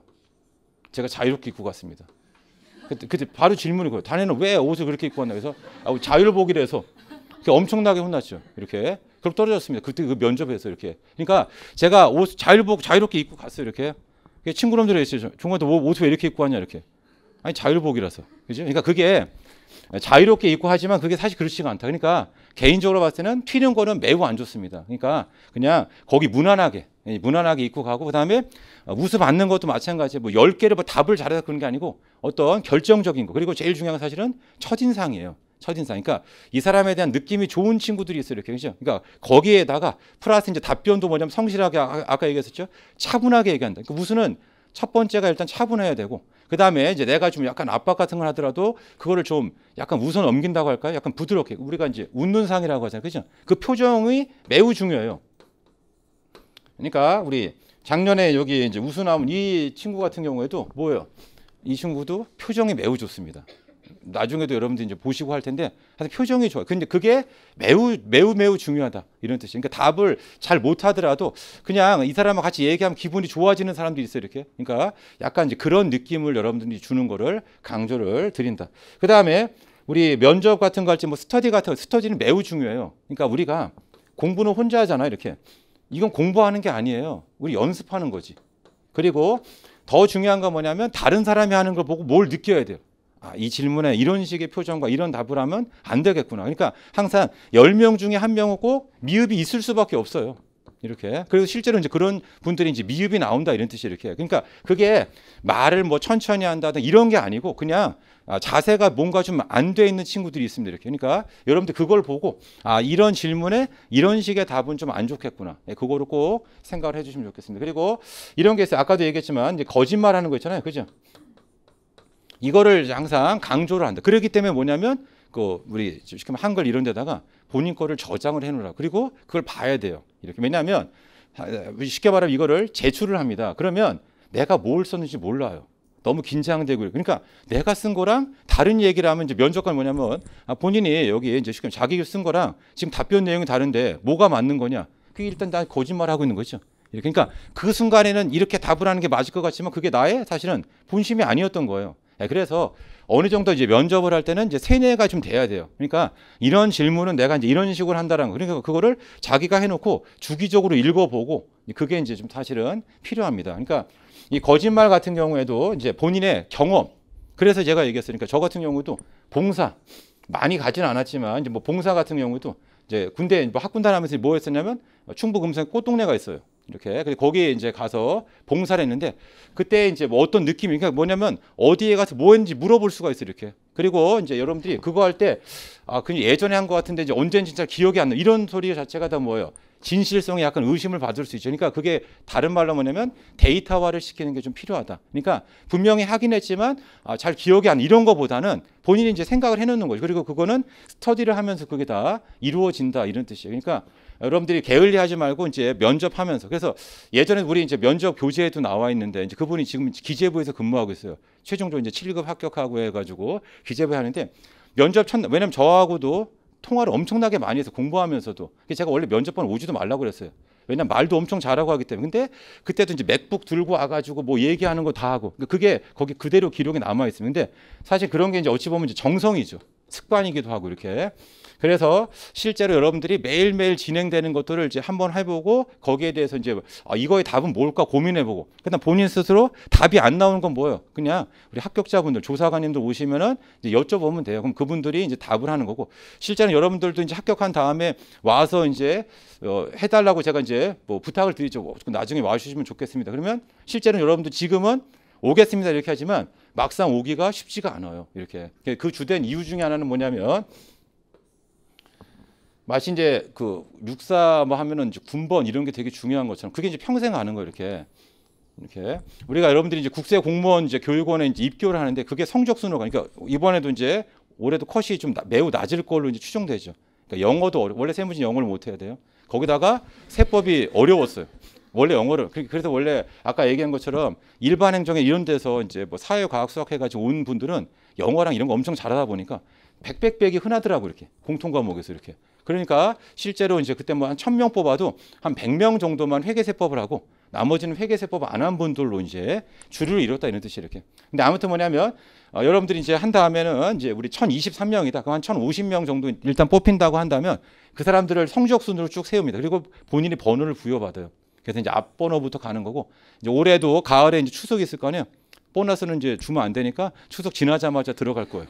이렇게. 그래서 그게 이제 올해 이제 4기가 되는 거고 그다음에 두 번째 이제 기수가 내년도 1기. 역시 마찬가지. 설 지나자마자 들어갈 겁니다. 이렇게 해 가지고 보너스를 이제 안 줘야 되니까 그렇게 해서 들어가고 교육원에 가면 한 130만 원이니까 뭐 얼마를 이제 교육비로 줍니다. 이렇게 해 가지고. 근데 아무튼 뭐냐면 기수별로 이렇게 쭉 들어가고 여기 안에서 경쟁하는 거예요. 그 사실은 뭐냐면 성적이 너무 좋으면 안 좋은 게 뭐예요? 잘하는 친구들 몰려 있잖아, 이렇게. 이렇게 그래서 이게 인생 세용지마처럼 안 제일 마지막에 해서 이렇게 그럼 여기서 내가 두각을 내면 난 서울청 갈 수 있어요. 근데 여기 가다 보니까 저기 밑에 뭐 광주라 광주가 나쁘다는 뜻이 아니고 내 연고지가 아니란 말이에요. 이렇게 주거를 해야 되니까 그래서 실제 이런 것도 있습니다. 그러니까 뭐냐면 여러분들이 이제 서, 서울 있죠. 서울 그리고 서울 남쪽이 있어요. 여기 강원도까지 여기가 이제 중부지방국세청이고 여기가 인천서부터 이제 경기 북부 여기 인천청 이렇게. 그다음 여기가 충청도 여기 대전하고 대전청. 여기 광주. 그다음에 여기 경 어, 경상도 북도죠 이렇게 해 가지고 대구청. 그다음에 여기 여기 어, 부산서부터 해 가지고 제주도까지 이렇게 부산청이 됩니다. 이게 한번 정해지면 못 옮깁니다. 그러니까 그래서 여기 가서 이제 성적 이게 매우 중요해요. 그러니까 실제로도 합격한 다음에도 쟤는 뭐라냐면 공부하라고 해요. 뭐 할 때까지만. 내가 원하는 청에 가. 그러니까 내가 부산에 살면 여 이쪽에 가야 될 거 아니 이렇게. 이렇게. 그러니까 내가 서울에 하면 이쪽에 있으면 좋은데 그렇지가 않을 수가 있단 말이에요. 그래서 실제로 우리 이제 뭐 면직하고 한 많은 이유 중에 하나가 뭐냐? 내가 원하는 곳에 못 가기 때문에 이제 그런 일들이 많다 이런 뜻이에요. 그래서 아무튼 공부를 잘해도 이게 평생 간다. 그 다음에 이제 어떤 게 있냐면 중부나 이런 데는 이제 사실 여기 강원도, 강원도가 나쁘다기보다는 멀어요 이렇게. 그리고 뭐 표현은 좀 그렇지만 뭐 예를 들어 가지고 세무서 밖에 나갔더니 이제 풀 논이 많으면 정신적으로 충격을 좀 먹는 거예요. 내가 나는 사무실에서 이렇게 좀 하고 싶었는데 그런 느낌을 좀 받, 는다고 이제 싫어해요. 근데 좋은 점 뭐냐? 일이 없어요. 민원인이 없으니까 여기 강남 쪽 이런 쪽에 근무하면 뭡니까? 계속 민원이 들이닥치니까 내가 녹초가 되는데 여기는 한가해요. 어쩌다 한 번씩 이제 민원이 오니까 이렇게 여기는 편안하죠. 대신에 뭐냐면 처음에 약간 이제 정신적인 충격이 약간 올 수도 있다 이런 뜻이에요. 그래서 결론은 뭐냐면 이쪽은 계속 빠져나가면 그러니까 뭐 충원해야 되죠. 계속 이쪽으로 보내는 거죠. 서울청은 사람들이 다 이쪽에서 근무하고 싶으니까 안 나간다. 그러니까 요새 잘 안 뽑는단 말이에요. 이렇게. 그래서 결론은 여기 들어가서도 좀 경쟁을 좀 많이 해야 되고 이렇게 그다음에 여기 가서도 어떻게 해야 되는지 왜냐면 여기서 반장하면 돼요. 실제로 유튜브 이렇게 보시면 인터뷰한 분들이 있어요. 다 쉽게 하면 거의 반장들이에요. 그분은 플러스 3점인가를 줍니다. 여기가 점수가 엄청 오밀조밀해요. 그러니까 예를 들어 가지고 한 200명 있다. 그럼 1등부터 200등 그 사이가 채 5점이 안 됩니다. 이렇게. 그러니까 여기 3점은 거의 절대적인 거예요. 이렇게. 그러니까 만약에 하면 거기서 반장하면 돼요. 반, 반 인, 인, 통솔하고 이렇게. 근데 이 말씀을 이제 왜 드리냐면 여기 이제 우리 뭐 스터디 같은 거 하면서도 이제 뭐 조장도 뽑고 이렇게 얘기하는데 다른 사람들을 이렇게 좀 이끌어 보는 거 그게 매우 중요해요. 이렇게. 그리고 옆에서 보조를 잘하는 것도 중요하고. 그러니까 그런 거. 그래서 우리 어, 합격을 할 때까지는 이제 공부 잘하는 게 중요한데 합격한 다음에는 뭐냐. 평판. 계속 얘기했잖아요. 나는 누구인가? 그 주변에서 나를 어떻게 이제 평가하는지 그런 거에 대한 생각들을 여러분들이 좀 해보시고 거기에 대한 반드시 뭐가 필요하다? 근거 이거를 계속 여러분들이 이제 고민을 해보시고 이게 계속 또 바뀝니다. 왜냐하면 처음에 얘기해봤더니 반응이 별로 안 좋을 수도 있어요. 그럼 어떻게 되냐? 그걸 계속 수정을 해가는 거고. 그래서 이제 이게 어찌 보면은 어, 지식이라고 하면 여러분 여기서부터 여기까지 공부해가지고 뭐 맞추면 좋은데 그게 아니란 말이에요. 그래서 늘 말씀드린 것처럼 뭐 아나운서가 될 수도 있고 뭐 배우가 될 수도 있어요. 이렇게 뭐 지금 영화 대본은 정해져 있는데 배우를 누구를 쓰냐? 거기에 따라서 느낌이 완전 달라집니다. 면접도 똑같아요, 이렇게. 그러니까 여러분들이 자꾸 지식을 쌓으려는 생각보다는 뭐냐 한 번이라도 얘기를 해봐라. 선생님 이 질문의 답은 뭡니까? 그게 중요한 게 아니고 답을 못 할 수도 있어요. 근데 어떻게 여러분들이 이제 그걸 답을 하냐? 그냥 못 하는 거를 내가 왜 이런지에 대해 설명 이게 훨씬 더 중요하다. 표정도 짓는 것도 중요하고. 그러니까 그런 거를 한 번이라도 더 해보는 게 훨씬 더 의미가 있다. 이렇게. 그러니까 우리가 뭐 예를 들어 연기에 무는 거다. 무는 거 어떻게 하라고 이제 뭐 써 있긴 해요. 이렇게. 하지만 본인이 직접 물어보고 뭘 해봐야지만 할 수가 있단 말이에요. 그게, 그게 면접에서는 제일 중요해요. 그러니까 뭘 해야 됩니까? 요새 이제 동영상 잘 돼 있으니까 동영상하고 또 지방에 멀리 있거나 하면 저한테 동영 찍어서 보내주면 돼요. 그래서 뭐냐면 이거를 널리 알려야 돼요. 나이 드신 분, 그게 뭐냐면 나이 드신 분들이 보면 아 이거는 좀 뭔가 안 좋다라든가 이런 거를 많이 얘기해 줍니다. 이렇게. 그러니까 여러분들이 어 제가 이제 병을 알리라고 했어요. 누가 아파요. 주변에 알리라고 왜냐면 그 병을 먼저 아, 아파본 사람이 있어요. 그래서 치료하는 방법도 알고 좋은 조언을 많이 해줘요. 그러니까 자기가 이제 면접에 있어서 되게 중요하다 이런 분은 그러니까 그게 점수가 매우 중요해요. 점수가 사실은 이렇게 왜냐면 절대 다수는 다 보통이기 때문에 그러니까 한 10% 정도만 우수. 한 10% 정도만 미흡이에요. 절대 다수는 다 그냥 가운데 보통이다라고 생각을 이제 하시면 됩니다. 그러니까 여러분들이 뭔가 내가 우수가 좀 필요하다. 그럴 때는 뭐예요? 자기 그 동영상 주변에 좀 많이 좀 전파해서 이제 사람들이 보고 아, 이런 것 좀좀 고쳤으면 좋겠다라고 하는 거를 좀 했으면 좋겠다. 또 이런 것도 많습니다. 뭐냐면 뭐 유튜버 같은 데 보면은 내가 왜 미흡이냐 해가지고 올린 분이 있어요. 이렇게. 보면 알겠어요. 그 말 하는 것 자체가 제가 봤을 때는 뭔가 문제가 있어 이렇게 해가지고 이렇게. 그러니까 이게 이제 왜냐하면 이런 분들 특징은 뭐냐면 어떤 지식이라고 생각하는 거예요. 지식이 아니라니까요. 그래서 그 인성이라는 게 그거예요. 다른 말로 이게 느낌이라고요. 조직 생활 잘할 수 있을지 이게 매우 중요합니다. 이렇게. 그러니까 단체 생활을 잘 못할 것 같은 분들은 절대로 여기 면접에서는 좋은 걸 못 받고 어, 어떤 분들 이제 우수였는데 이 친구는 뭐냐면 자기가 처음에 미흡인 줄 알았대. 왜? 자기를 너무나도 훈계를 많이 하는 거예요. 이렇게 두 명에서 이제 계속 압박 그죠? 근데 그럼 우수가 나왔어요. 이렇게. 그럼 과연 그 이유가 뭘까? 그러니까 뭐냐면 뭐를 더 알려주고 싶었던 것 같아요. 이렇게. 아니면 이분 자체가 어, 왜냐면 이 친구한테만 이렇게 한 게 아니에요. 여기 있던 조원들 모두에게 다 강력하게 압박을 했는데 그 중에서 제일 잘 견뎌낸 거죠. 이렇게. 그래서 이게 어찌 보면 약간 운이기도 해요. 어, 그래서 조원, 그러니까 뭐냐면 면접장에 가서 그게 그날의 운명인 거죠. 그죠? 이렇게. 누구 한명 안 왔어요. 그럼 이 사람이 미흡이라고요. 나머지 일단 보통 이상부터 뭐 출발한다든가 또는 뭐냐면 제 1번으로 해요. 1번은 기본적으로 거의 보통 내지는 우수입니다. 이렇게. 그러니까 제일 왜냐면 제일 긴장도도 높고 그죠? 면접관 입장에서도 처음이니까 최선을 다해서 볼 거예요. 그죠? 사실 1번이 되게 긴장되고 한단 말이에요. 이렇게. 이렇게. 아무튼 이런 것들이 어찌 보면 그날 본인의 운인 거고 또 오전이 있고 또 오후가 있어요. 피곤하죠. 별 면접 왜냐면 이미 누군가를 정해놨으면 대충 대충 하고 싶어요. 그러니까 아까도 얘기했잖아요. 그저 자기 전공쯤 왜 했겠어요? 오후라고요. 준비 많이 했는데 면접관도 졸리고 귀찮다고요. 이미 누군가 다 결정해놔. 그러니까 빨리 정리하고 싶은데 정리하려면 나가라고 했더니 이제 나가지 않고 막 본인의 주장을 하니까 기분이 확 상하는 거죠 이렇게. 그러니까 이런 거를 잘 이게 어찌 보면 이게 운이에요 운. 운. 되도록이면 이제 오전주 이런 데가 훨씬 더 좋다 그런 뜻이 훨씬 더 이렇게 왜냐하면 면접관 입장에서도 똑같은 곳에 앉아가지고 공기도 이렇게 뭐 쏙 좋지도 않은 곳에서 계속 하니까 몹시 피곤하다고. 그러니까 뭔가 맑은 정체 볼 수 있는 게 좀 여기 앞번호 쪽이겠죠 이렇게. 하지만 이런 걸 모두가 다 이제 그날의 운이라고 생각을 하시고 근데 그 가운데서도 이제 최선을 다하는 그런 모습 그리고 막 인위적으로 뭘 하는 게 아니고 뭔가에 대해서 내가 이제 준비가 좀 잘 돼 있으면 한두 개 그 멘트 그런 게 이제 좀 뭔가 면접관의 마음을 좀 잘 움직일 수 있는 거죠. 그런 게 매우 중요하다. 그래서 아까도 뭐가 있었냐면 우리 면접에서 블라인드라고 했잖아요. 아무것도 몰라요. 면접관이 이렇게 별로 알고 싶어 하지도 않고 이렇게. 예, 그래서 여러분들이 그거를 생각하고 그냥 괜히 본인의 뭐 쓸데없는 약점이라든가 이런 걸 할 필요 없다. 왜냐하면 제일 많이 하는 게 저는 전공을 이쪽 괜찮다니까요.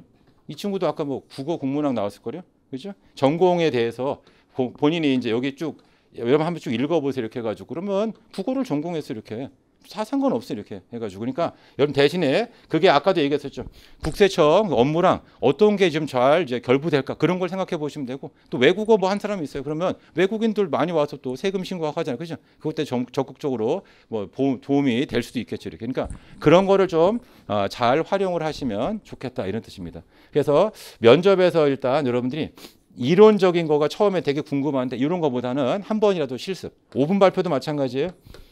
어떤 주제에 대한 왜냐하면 주제는 제가 계속 막 밴드랑 해서 올려드릴 거 카페랑 계속 올려드릴 거다 이렇게. 그래서 그걸 가지고 연습을 이제 조원들이 하시면 되는데 예, 중요한 건 뭐냐면 어, 뭐든지 자기가 제일 좋아하는 거 자기 뭐 야구를 좋아해요.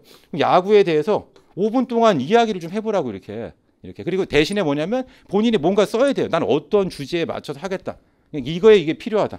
그리고 다른 사람한테 좀 들어보는데 뭐냐면 템포가 되게 중요합니다. 왜냐하면 너무 빨리 하면 안 되고 너무 느리면 이제 졸리겠죠 이렇게. 그러니까 이런 템포 같은 거를 잘 조절해서 그래서 항상 뭐냐 내가 뭘 주면은 키워드 몇 개를 좀 적어놓고 그 다음에 요거에 근거해가지고 내가 어떤 식으로 이야기를 전개할지 대신에 거기다가 뭘 넣어야 돼요? 공직가치 이렇게 공직가치 몇 개를 넣어서 답을 하면 된다. 그리고 꼭 100을 얘기를 안 해도 돼요. 80 정도만 얘기하면 돼요. 그럼 뭐예요? 한 20이 궁금해가지고 100%그 질문을 합니다. 이렇게 아까 이제 뭐라고 A라고 얘기했는데 내가 봤을 때 왜 A라고 했는지 이걸 이제 막 물어본단 말이에요. 이렇게 그러면 여러분들 거기에 대해서 답을 할 수 있으면 되고 그게 결국 뭐냐 면접에 대한 본인이 주도권을 갖는 거죠. 이렇게 근데 그런 거는 결국 뭐예요? 실습을 좀 많이 해봐야지만 여러분들이 그런 거를 할 수가 있다. 그래서 아, 나 다른 사람이 하는 걸 보는 거 그게 매우 중요하고 그걸 하다 보면 아 이렇게 준비해야 된다는 그런 느낌을 이제 가질 수 있어요. 이렇게. 그래서 제일 안 좋은 거 아까 얘기한 것처럼 이론 이 질문의 답은 뭐 이런 거고 또 그다음에 제일 많이 하는 게 또 뭐냐면 전공에 대해서 마찬가지예요. 나중에 이제 우리 남정 선생님께서 이제 해주시겠는데 여지까지 저는 전공에 대해서 답을 잘하는 분을 거의 못 봤습니다. 왜냐하면 사업자가 뭡니까 답을 못 하는 거 이렇게 해가지고 이렇게 부가세는 뭐 하는 거예요? 그럼 뭐 답을 못해 이렇게 왜냐하면 본인은 엄청 거창한 거를 막 끄집어내려고 하고 그러니까 자꾸 머릿속에서 뭘 끄집어내려고 하는데 이거는 바람직하지 못하니까 아주 그냥 간단하게라도 얘기를 좀 하면 좋다. 그게 결국 뭐냐면 민원인이 와가지고 아, 부가시급 왜 내는 겁니까? 짜증나. 그럼 그때 설명을 뭘 좀 해줘야 돼요. 그러니까 그런 거를 여러분 생각을 하면 된다 이런 뜻이죠. 사업자 등록증 낼 때 뭐 필요한 서류가 뭡니까? 이렇게 물어볼 수 있어요, 그죠? 왜냐면 민원이 제일 많이 물어보니까 전화해가지고 그죠? 저 이번에 사업자 등록증 내려고 하는데 서류 뭐 갖고 가면 됩니까? 이렇게 물어본단 말이에요, 그죠? 그러니까 그런 거에 대해서 한번 해보시고 그 다음에 세무서 같은 거 방문했습니다. 그럼 뭐예요? 경험, 그러니까 왜냐면 느낌. 세무서 했는데 느낌이 어떠냐 이런 거 그죠? 그러니까 대단히 항상 뭐예요? 제일 좋아하는 거 전문적으로 보였다, 그죠? 이렇게 대외적인 이미지 그렇죠? 그리고 또 국세청 같은 경우에는 이제 뭐가 있냐면 감찰반이 있어요. 왜냐하면 국세 공무원에 보면 국기법에 나오죠. 재량권이 있다. 이렇게 그, 그 판사도 재량권이 있어. 그러니까 뭐예요? 우리 뇌물도 주고 막 이렇게 하잖아요. 국세 공무원도 실제로 그래서 뇌물 같은 거를 많이 받을 수 있다. 그러니까 뭐예요? 우리가 감찰반이 있어요. 그러니까 누가 동료가 갑자기 뭐 외제차를 뽑은 거예요. 그죠? 궁금하잖아요. 어떻게 했는지 이렇게 그죠? 그러니까 그거를 나만 궁금해하는 게 아니고 감찰반이 와서 이렇게 확인을 해본단 말이에요. 이렇게 그 정도로 사실 그게 다른 말로 뭐냐면 재량권이 있는 거고 우리가 싫어한 말 중에 뭐가 있냐면 전관 예우 이런 게 있어요. 그죠?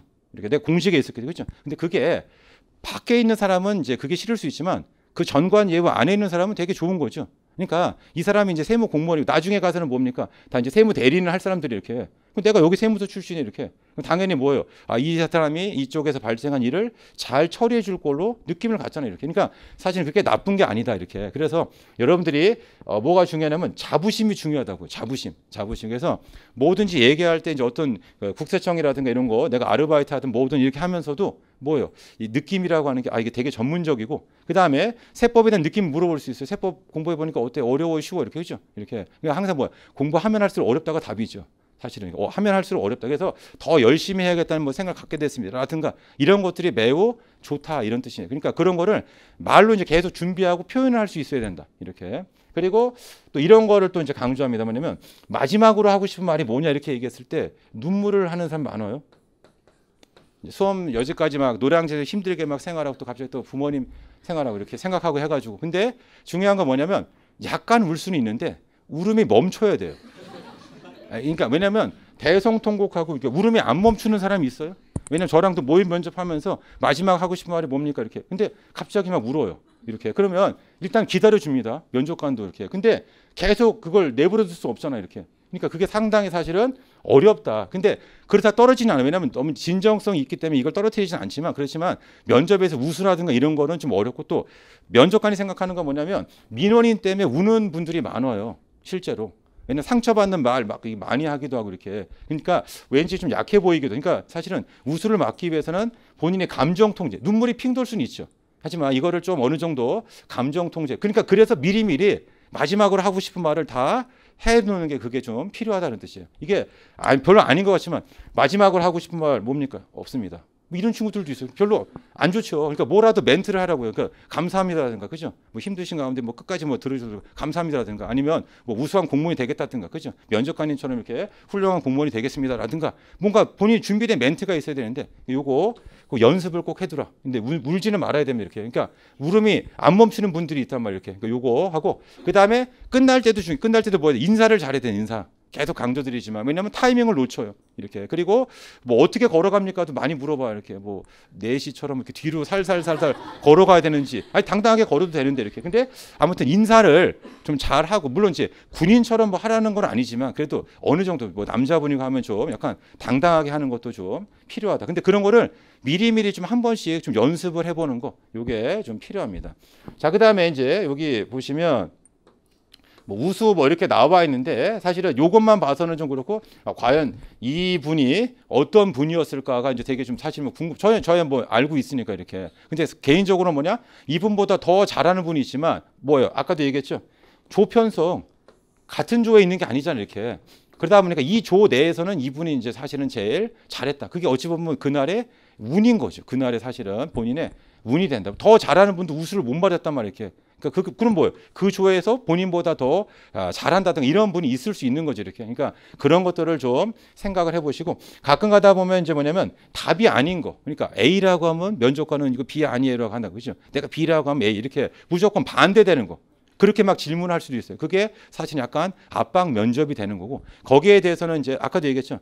많은 땀을 흘리고 좀 긴장된 자세 이런 것들이 이제 필요하고 제일 안 좋은 건 뭡니까? 패스하는 거죠.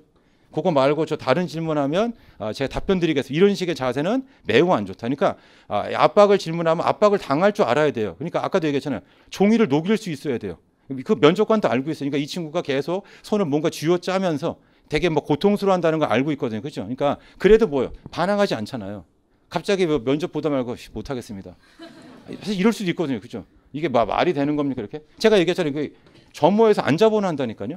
국세공무원 교육원에 이제 가보면 이렇게. 그러니까 그게 뭐냐? 그냥 떠날 사람들은 이제 빨리빨리 떠나라 그러는데 우리 조직에 잘 안 맞는 사람들이 이렇게. 그래서 어찌 보면 약간 마피아 같기도 하고 그죠? 국세청 이렇게. 그러니까 이게 여기 조직 문화예요. 조직 문화 이렇게 해가지고 이렇게. 그러니까 여러분들이 그거를 좀 생각을 해보시면은 조금 면접에 있어서 내가 무엇을 더 준비해야 될지 그런 것들을 알 수가 있다. 그래서 계속 강조드리는 거는 지식이 다가 아니다. 그것만 알면 돼요. 그리고 연습이 필요하다 그리고 한 번이라도 더 뭐냐 모의 면접 같은 거 해가지고 말을 좀 해보라고 이렇게. 그래서 제가 처음에는 쉬운 질문을 해요.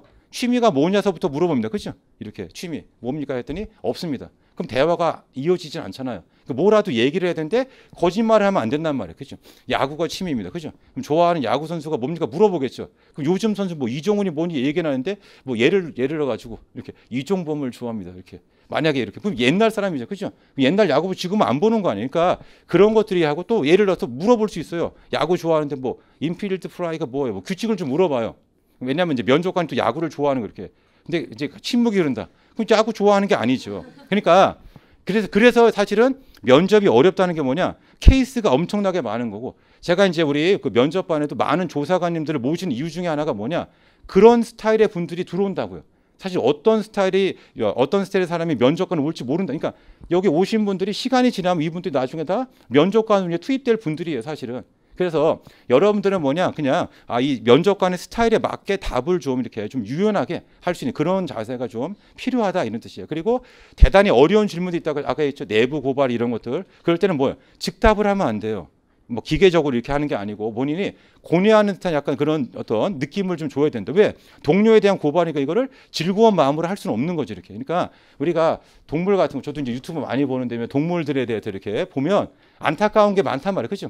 그때 그 어떤 그런 마음을 가져야 되는데 그거를 그냥 뭐 재밌다고 생각 이런 사람은 절대 뽑을 수가 없는 거죠 이렇게. 그러니까 약간 그런 느낌을 여러분들이 좀 줄 수 있으면 매우 좋겠다. 그래서 이제 뭐 돌아가셔서는 이제 해야 될 게 뭐냐? 본인의 이제 과거를 이제 정리하고 아까도 얘기했죠? 데이터화 시키는 거. 그리고 그 작업이 계속 이제 면접장 갈 때까지 끝없이 이루어지는 거고 그 다음에 뭐 교재나 이런 거 들으면서 예상 질문 같은 게 있습니다 이렇게. 그렇죠? 그럼 거기에 대해서 한 번씩 생각해 보는 거예요 그 다 할 수는 없지만 그래도 뭐 취미서부터 해가지고 그 다음에 본인의 뭐 과거 그 뭐냐면 제일 많은 게 경험 질문도 뭐 동료들하고 갈등 그 잘 해결했던 거 작은 것도 돼요. 일단 대화만 할 수 있으면 돼요. 없습니다. 좀 갈등 없어. 이런 거보다 왜냐면 면접관은 대화를 하고 싶은 거예요. 우리 이제 소개팅 나가서도 뭐 취미가 뭐예요? 없어요. 몰라요. 뭐 이렇게 하면 대화를 할 수가 없어요. 우리 말하고 싶어가지고 하는데 그런 것처럼 뭔가 얘기했을 때 답이 나와야 된다. 근데 대신에 거기에 대해 준비가 안 됐다는 게 뭡니까? 그 후속 질문에 대해서 준비가 전혀 안 돼 있는 그런 거. 그러니까 뭐냐면 내가 경험해 보지 않은 거, 뭐 그런 걸 하면 안 된다. 뭐 예를 들어 가지고 뭐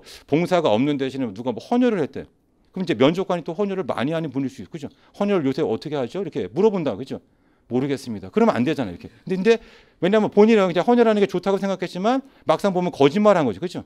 그러면 여지까지 얘기했던 게 다 부정되니까 이게 사실은 가장 뭐 치명적이죠. 그러니까 본인의 이제 과거를 잘 정리하고 그다음에 면접관 입장에서는 많은 경험을 원하는 게 아니에요. 이렇게. 그래서 이제 공무원 이제 된 다음에 조직 생활 잘하고 이렇게 이렇게 하는 거를 이제 원하는 거기 때문에 여러분들이 그런 거 과거에 작은 거라도 일단 끄집어내서 이야기할 수 있는 이런 것들을 강조를 드리도록 하겠습니다. 혹시 뭐 궁금하신 거 궁금하신 거 요거 좀 하면 이제 뭐 요 정도 하고 이제 요거 끄고 제가 또 질문도 받고 그다음에 아까 이제 뭐 조사관님 뭐 내려가시고 있는데 그 조사관님 뭐 거기 이제 만나 뵐 분들 있으면 또 같이 또 만나 뵈서 또 이야기도 하고 하겠습니다. 질문 일단 없으면은 일단 공식적인 강의는 뭐 요 정도로 하겠습니다. 예. 마치겠습니다. 여러분 열심히 다 하셔 가지고 저는 합격하세요. 예. 감사합니다.